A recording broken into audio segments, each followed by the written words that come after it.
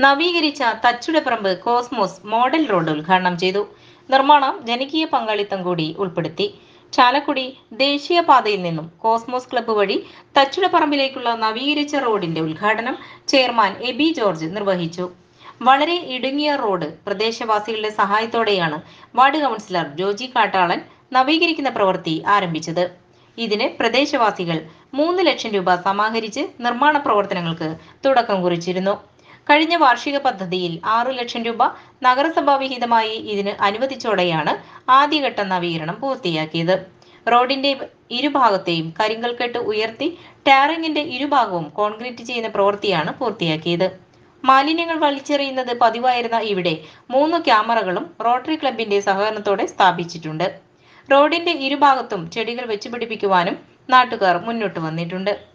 നിലവിൽ ആയുർവേദ ഡിസ്പെൻസറി പ്രവർത്തിക്കുന്ന ഇവിടെ ആയുഷ് ആശുപത്രിയുടെ നിർമ്മാണം പൂർത്തിയാകുന്നതോടെ ഏറെ പ്രാധാന്യം ഈ റോഡിനുണ്ട്. ഉദ്ഘാടന ചടങ്ങിൽ വാർഡ് കൗൺസിലർ ജോജി കാട്ടാളൻ അധ്യക്ഷനായി.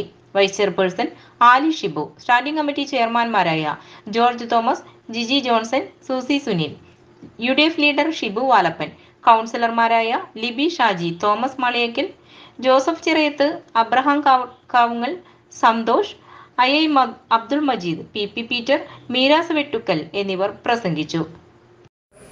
നമ്മൾ ഇന്ന് ഒരു റോഡിന്റെ നവീകരണ പ്രവർത്തനത്തിന്റെ ഉദ്ഘാടനമാണ് ഇവിടെ സംഘടിപ്പിച്ചിട്ടുള്ളത് വർഷങ്ങളായി ഈ പ്രദേശത്ത് കൂടെ കടന്നു പോകുന്ന ആളുകൾക്ക് ഒരു കാറ് വന്നാൽ തിരിച്ചൊരു മോട്ടോർ സൈക്കിളിന് പോലും കടന്നു പോകാൻ പറ്റാത്ത രീതിയിൽ വളരെ ദുഷ്കരമായ രീതിയിലായിരുന്നു ഈ റോഡിന്റെ ഒരു അവസ്ഥ. അത് ഈ വാർഡിലെ കൗൺസിലർ എന്നുള്ള നിലയ്ക്ക് ജോജിയുടെ ശ്രമഫലമായി തന്നെ അങ്ങനെ തന്നെ പറയണം.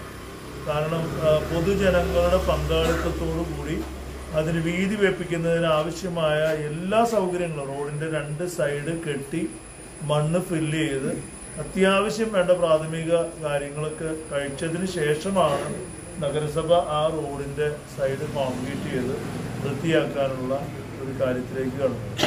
ഈ പുതിയ ട്രാഫിക് പരിഷ്കാരമൊക്കെ വരുമ്പോൾ ഞാനിപ്പോൾ സ്ഥിരമായി മുനിസിപ്പാലിറ്റിയിലേക്ക് പോകുന്ന റോഡ് കൂടിയാണ്.